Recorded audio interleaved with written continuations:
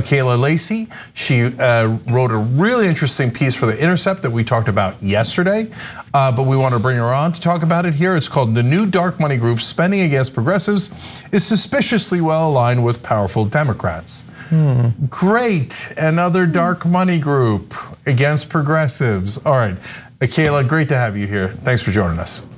Thanks for having me, Cenk. Okay, so uh, for the folks uh, who didn't catch our segment uh, yesterday, so tell us about it. Who is what, what? What's the new group?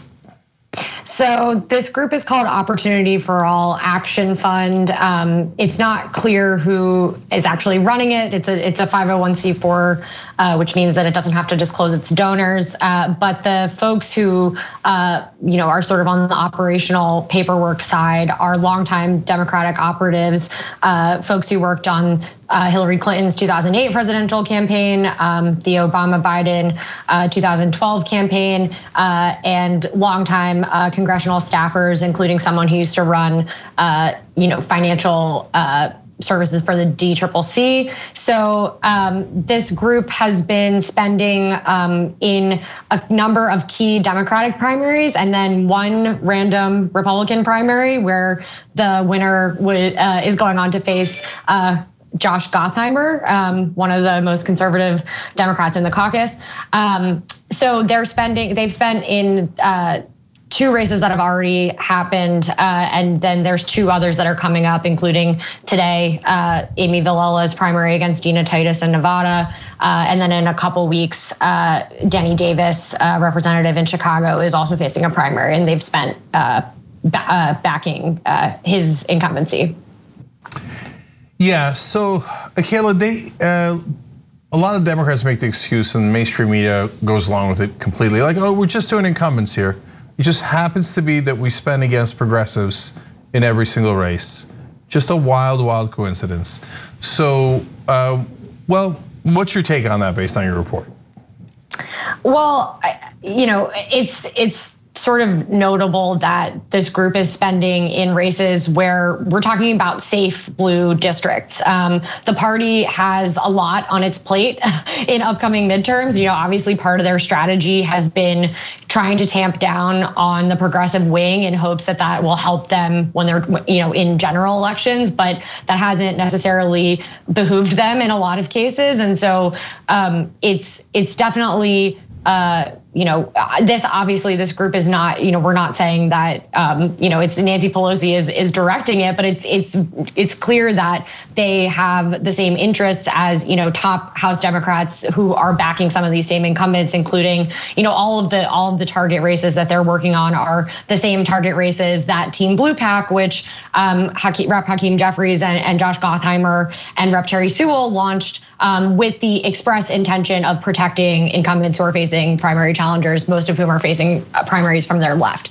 So it's just sort of another data point in uh, the sort of criticism against the party that they are utilizing resources on uh, pushing against uh, growing support for these progressive policies instead of sort of you know allocating those resources towards uh, districts that are you know actually have a have a chance of flipping red, which is not the case in the seats that this group is spending in. Uh, Kayla, I, I, don't know that you'll necessarily, like off the top of your head, have percentages or anything, but I'm just curious, based on the research that you did in advance of this. Um, look, this this seems like a significant new group, but we know that there there has also been dark money for some time. Do you have any idea in, in this cycle how significant their contributions have have been as a as a part of the total spending in these races? And do you have any sort of gut feeling about um, the like how big of an impact dark money has had generally in this election cycle, perhaps in comparison to, to past ones?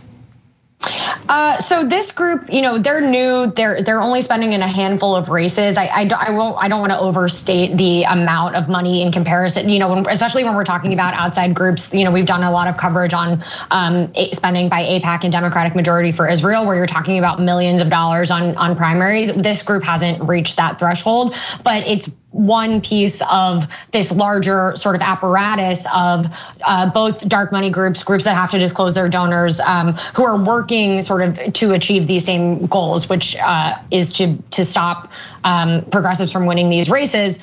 Um, in terms of the amount of that dark money has impacted this this year's cycle, I think you know we're seeing some other groups that have been kind of more unabashed about being very proud of taking money from uh, sort of unsavory figures. Um, you know, some of the the you know we've done a lot of coverage of um, AIPAC's new PAC, um, and they endorsed you know more than 100 Republicans who voted to overturn the election the election results. So it's it's almost more explicit this cycle. We're seeing you know on on the one hand, we do have dark money groups that are are are making a big impact, but we also have uh, sort of explicit spending um, that is is relying on Republican and sort of really right wing donors um, to to reach the same aims that that the Democratic Party is is working towards.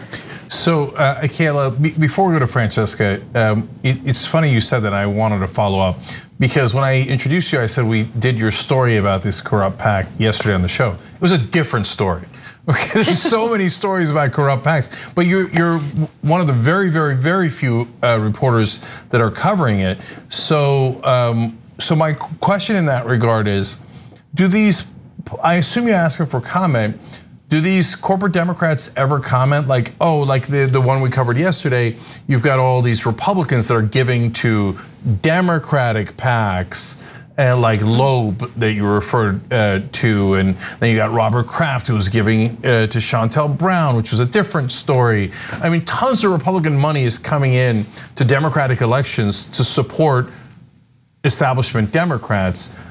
Does the Hakeem Jeffries, do the Hakeem Jeffries of the world, the the Danny Davises or whoever go? Oh yeah, we love it, man. We were using Republican money to, to bash progressives, or there no comment, or what do they say?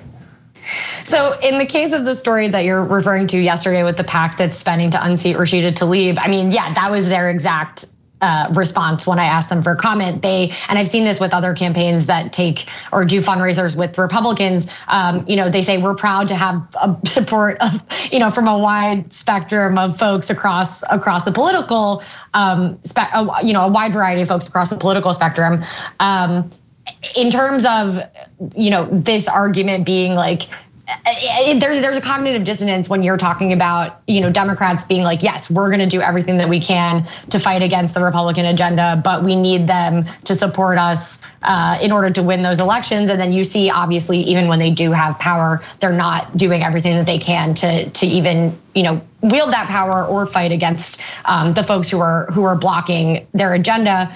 Uh, so you know yes, they sort of acknowledge it, but I think they acknowledge it because there isn't really, there's no one holding them accountable necessarily for, um, you know, at least within their own ranks for doing that, or very few at least. You know, we saw um, uh, Representative Ocasio Cortez um, shared that story about the Bakari Sellers PAC and, and sort of made this point that um, you know Republicans and Democrats are are pouring money into these races, um, and so that's one of the few voices that's trying to bring attention to this. But yeah, it's it's it's it is interesting when they say that because it's obviously something that they think uh, is going to go over well with people, and I guess I guess it does for for some folks, but. Yeah, when they say make a lot of sense. yeah, when they say, "Oh no, we've got a wide tent, that's why we have Republicans helping our agenda," I think is it our agenda? Hmm. Is that why the Republicans gave millions of dollars to it?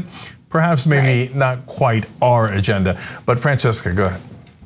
Oh, I, I just think that in this particular piece about dark money, it feels so obvious that it's the same people behind the Team Blue PAC, right? Like they spent $150,000 in Gottheimer's race for another Republican. The only th- they're like throwing their money because Pallotta, the the uh, Trump-backed Republican, as you write, was in within eight points of Gottheimer, which is like, huh? I wonder why a Republican is so close to taking out a Democrat. Maybe because Gottheimer and this Republican's politics are really similar, mm-hmm. and like Gottheimer is not actually standing out.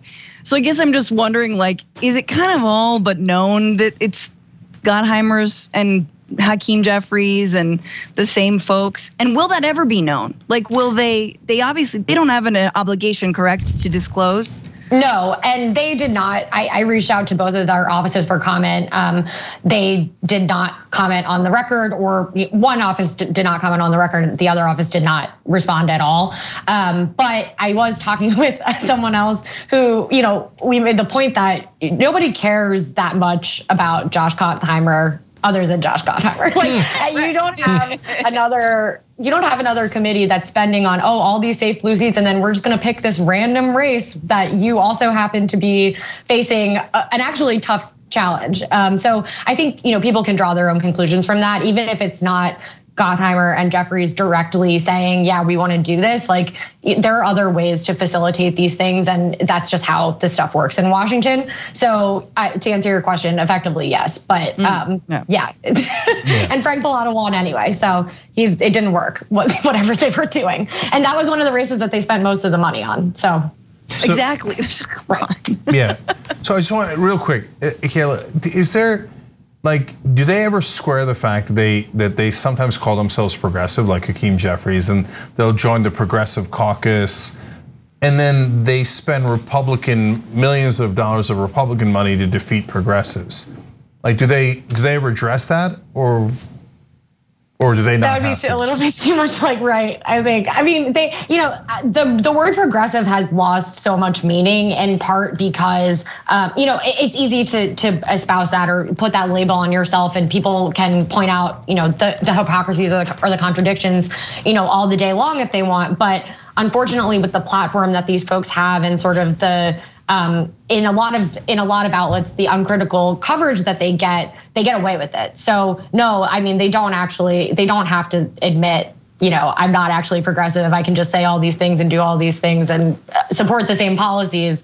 Um, and then somehow I'm progressive because, you know, I don't know, I'm not like explicitly fascist, right? Like that's sort of the bar, the bar is on the floor when we're talking about like progressives in Congress. And um, a lot of these folks have sort of uh, uh, competing memberships in the Progressive Caucus and then some more of the conservative caucuses. So there's the the lines are very fluid, um, and that's sort of by design, I think.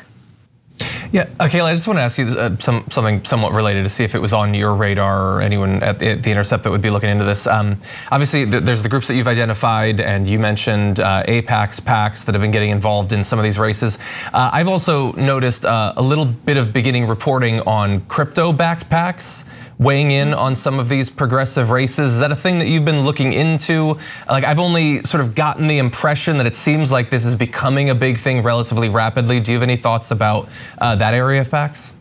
Yeah, so the crypto space is really interesting. I haven't covered a lot of this personally, but I have seen it come up in some of the races that we've written about. So uh, they backed Shontel Brown in the the primary with Nina Turner, but they've also backed um, for other candidates, you know, further, you know, to who you know are a little bit more believably under this progressive banner. Um, in term, so they they're backing. Um, uh, I'm forgetting her name.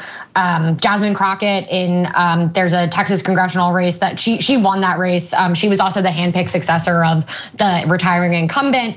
Um, and she has, you know, expressed support for some progressive policies, and I think is sort of waiting until was waiting until after the primary to to make a little bit more of a definitive stance in some of those areas. But a crypto PAC backed her.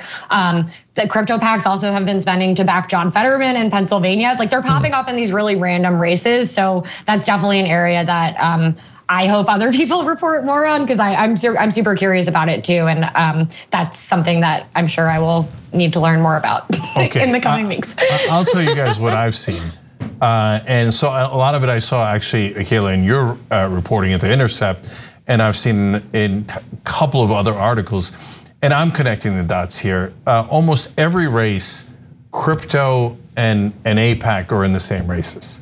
So if AIPAC's going in a certain direction, Democratic majority for Israel's going in a certain direction, so is crypto. So like Fetterman's a great progressive, but he's very right wing on Israel. Um, and so, and then all of a sudden crypto shows up in, in his race on his side, even though he's really progressive on other issues. So that's what the kind of thing that makes me go, hmm, interesting, mm -hmm. right? So uh, we'll see how that, that goes. I mean, crypto such a wild card. Anyways, uh, one, one, more thing I want to ask, Kayla. So in Washington, they always say like supporting incumbents as, as if it's like by definition a good thing. And then when when challenged on it, normally they say, well, that's because we need their votes. Uh, but they backed uh, Cuellar in Texas, and he votes against us on gun control, on uh, women's rights, and the list goes on and on. So it's definitely not about the votes. So have they ever been challenged on? Wait, supporting incumbents just means supporting the powerful.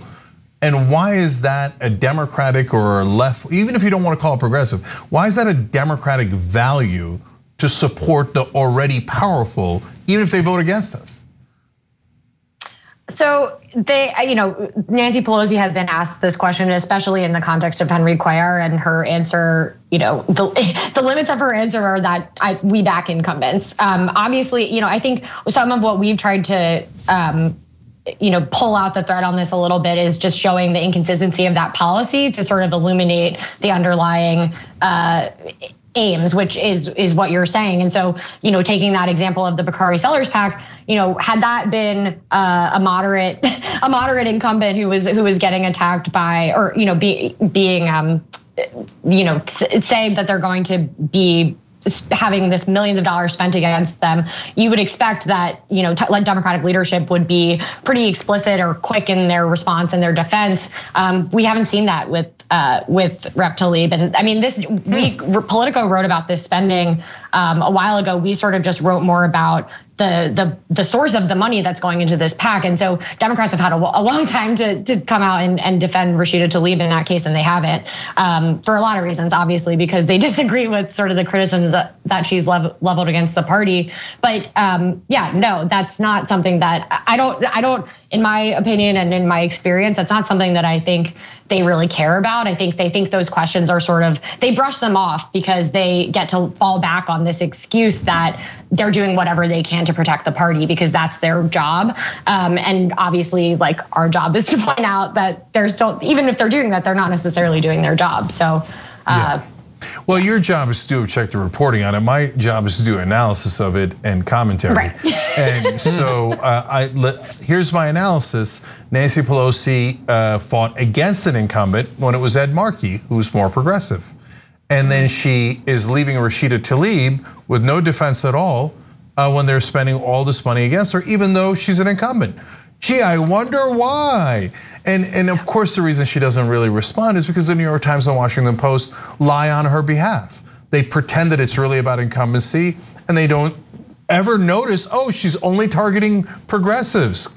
And then in fact, they'll call her progressive. So in my opinion, they totally and utterly lie and cover up the corruption of Democratic leadership. So she feels free to say anything she likes because it's not gonna be challenged other than by you, okay? And so eh, on that note, last thing, uh, did Bakari Sellers ever respond uh, uh, to that article? No, no, but I thought, you know, so many people tagged him into the replies when I shared the story. I thought maybe he would say something, but no, he has not responded. Uh, you know what that yeah. means? Oh, look, my hand in the cookie jar. okay. Yeah, so he doesn't want to talk about that at all. Uh, and so um, just beware. Uh, and and by look, my note is beware of identity politics because corporate Democrats use it all the time. That other article you wrote, Akela, is a, in my opinion, you didn't say it, I'm saying it, is a perfect example of it. Oh, we are here to find a black candidate in Detroit. Even though yeah. the black voters voted for Rashida Tlaib already, but the voters are not black elites. You really need a black elite funded by Republicans and pro-Israel groups but they are yeah. for black people. And there's, I mean, this is sort of they. They also neglect to to uh, mention that Detroit also happens to have a large Arab American community, mm-hmm. and or you know whether that would be relevant at all. Um, and then uh, you know back to the other piece, uh, this idea about protecting incumbents. Hakeem Jeffries challenged an incumbent, and that's how he was elected. Um, and that's never, you know, they never really mm-hmm. address that when they're um, when they're launching these uh, these groups or or waging these battles. So yeah. Awesome. Yep. All right. Uh, obviously, as you can tell from this interview, you got to be reading Akela Lacy's articles on the Intercept. Uh, uh, a really bright spot in uh, in coverage of politics. Thank you so much for joining us. Really appreciate it. Thank you for having me. Thanks for watching the Young Turks. Really appreciate it. Another way to show support is through YouTube memberships. You'll get to interact with us more. There's live chat emojis, badges. You've got emojis of me, Ana, John, JR. So those are super fun. But you also get playback of our exclusive member only shows and specials right after they air. So all of that, all you gotta do is click that join button right underneath the video. Thank you.